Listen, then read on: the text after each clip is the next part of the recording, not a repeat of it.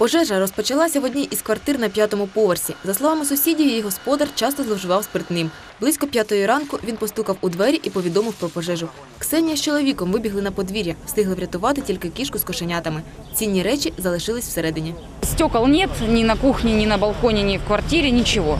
Вот. Ну, я думаю, тысяч на 5, может быть, на 10, я не знаю, убытка, наверное, будет. Євген проживає на третьому поверсі. Розповідає, як тільки дізнався про пожежу, одразу кинувся рятувати сусідів Погорільця. Не могли выбить, там выбили дырку блядь, возле замка, уже мокрым полотенцем открывал. Короче, уже квартира горела, что туда уже задымление, там если кто был, там сгорел. Найбільше жителів дому обурило те, що господар палаючої оселі не схотів навіть пожежних викликати. Він просто зник з місця події. Правоохоронці його затримали, і зараз цей чоловік перебуває у райвідділі міліції у стані алкогольного сп'яніння. Унаслідок пожежі згоріло дві квартири і балкон. Полум'я знищило 800 квадратних метрів крівлі.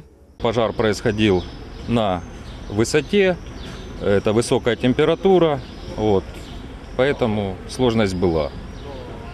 И большая площадь пожара на момент прибытия подразделений. То есть это необходимо большое количество воды, большое силы средств, количество. Місцева влада прийняла рішення тимчасово поселити чотирьох мешканців будинку, чиї оселі найбільше постраждали, у територіальному центрі. Відновлювати згорілий дах розпочнуть вже сьогодні. Мы сейчас сделаем обследование всех квартир, определим материальный ущерб. Значит, сегодня приступаем э, новую кровлю полностью и ремонт этих э, двух аварийных квартир.